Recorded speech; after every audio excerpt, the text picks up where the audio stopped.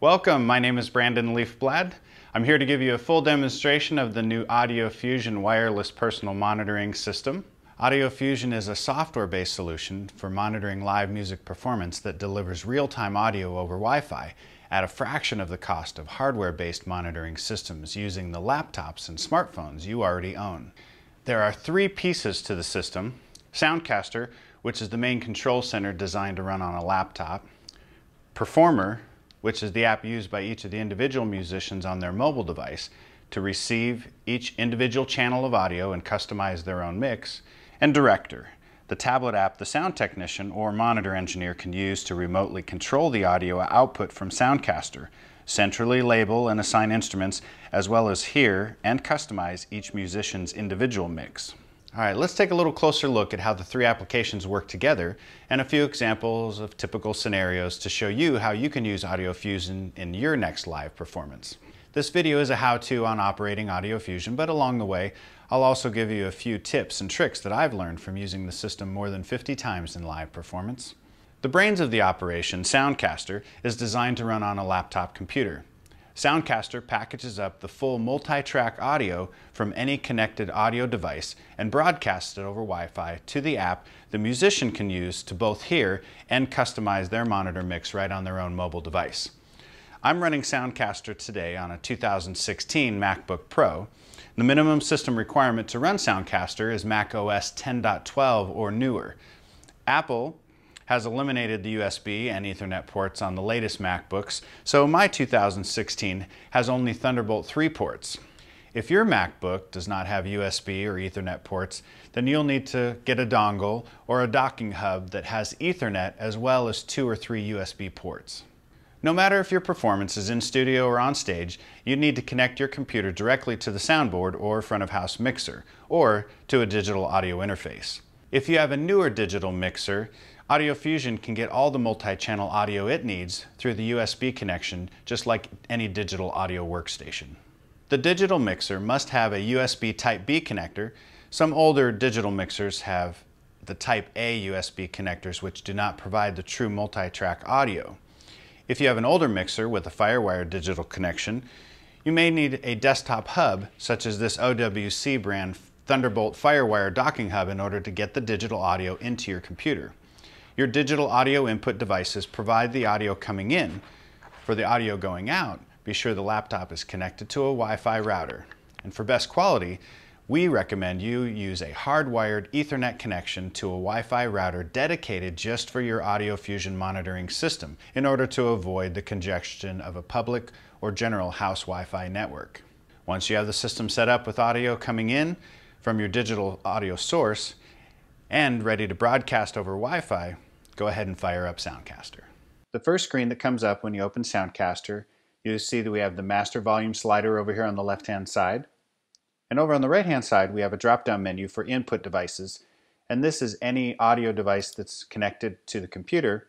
We can select, uh, in this case, I'll go ahead and select the XR18, our little Behringer mixer uh, for this session. And Soundcaster will automatically detect all the channels that are available from that mixer. And so what we need to do is just simply deactivate any of the channels that we don't want to include in the mix. So right now I have eight channels of audio running through the Behringer. So I'm going to deactivate everything from 9 and above.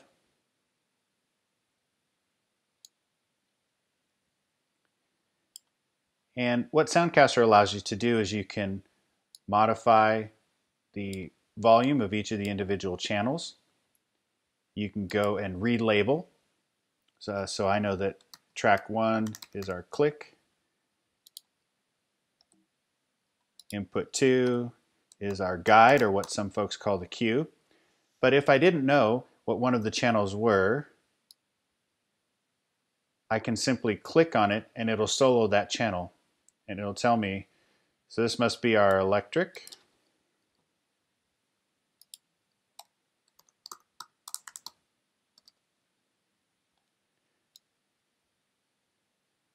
Sounds like piano. Now if we want to, we can go up here to devices at the top and if you select input monitoring what it'll do is it'll allow all the audio coming into Soundcaster to be simultaneously broadcast on the MacBook itself. And then you can hear all of the channels coming in. Let me turn down the master volume here for us.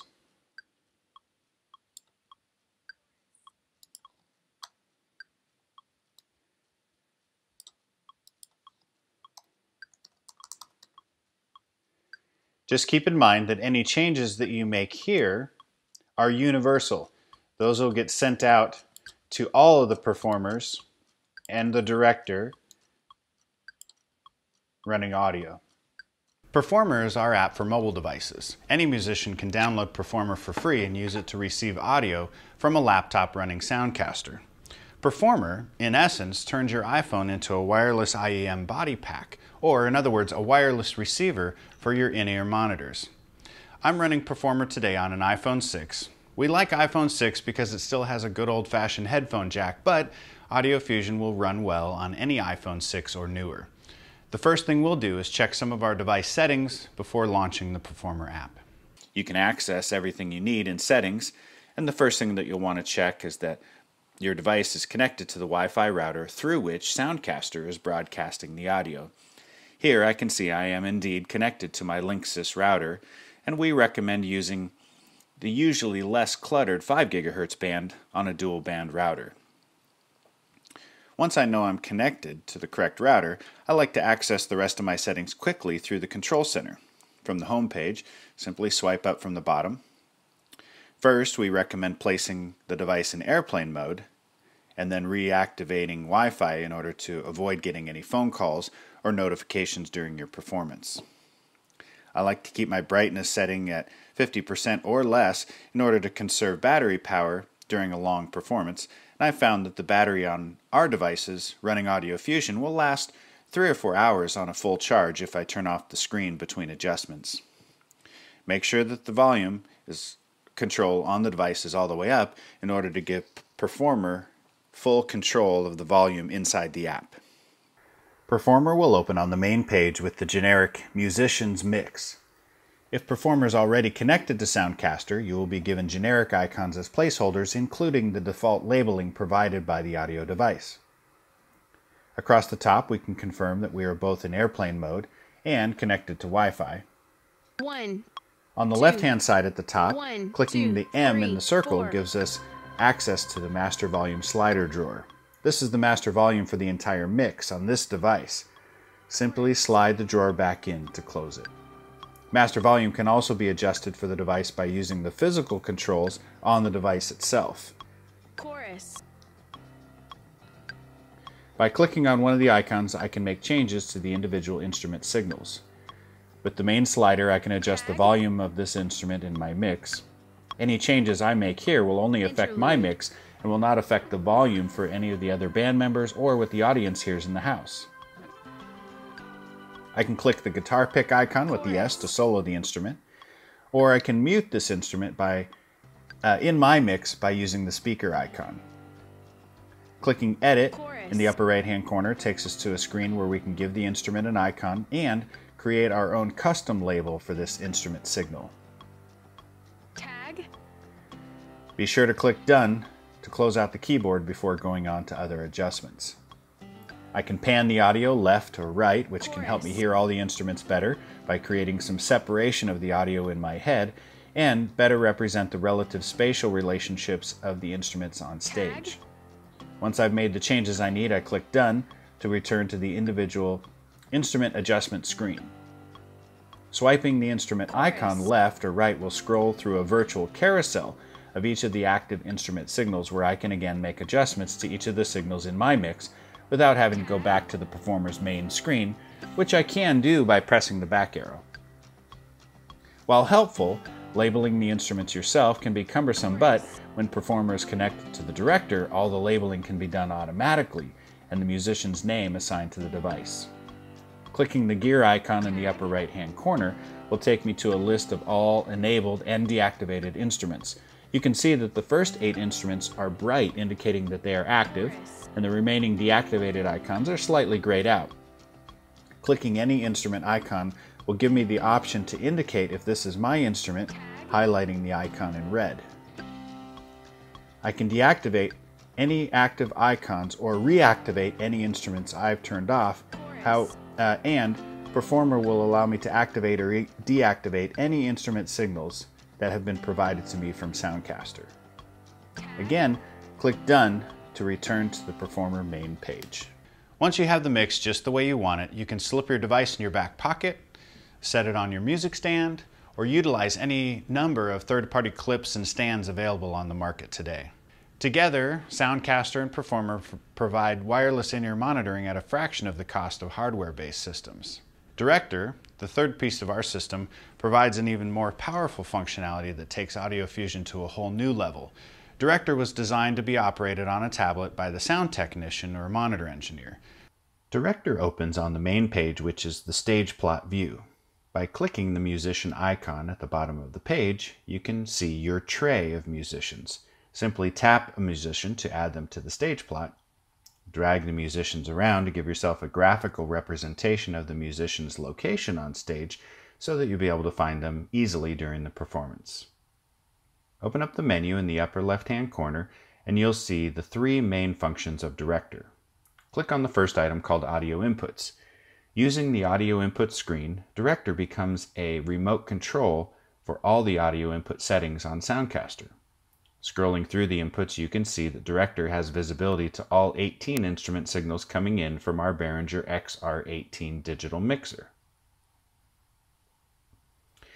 We can adjust the levels of each of the inputs and select which channels we want to include in the mix.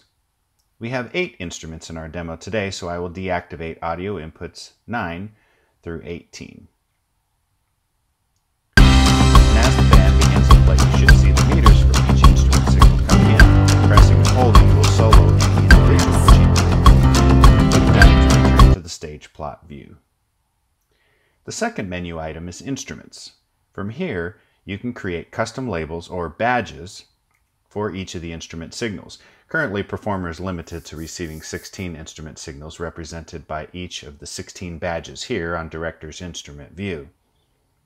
Instead of retyping a label for each and every audio input, simply apply one of the badges you've created in the Instruments view to the audio input by clicking on the label and selecting the audio input from the drop-down menu. You can also associate the instrument to any of the musicians you've created.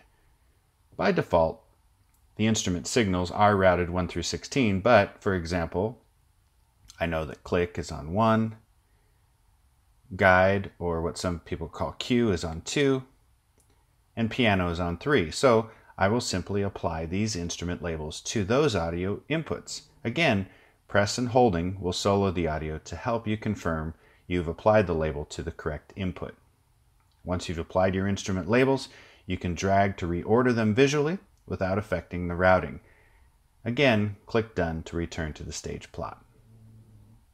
The third menu item is Musicians, and from here you can create new musicians,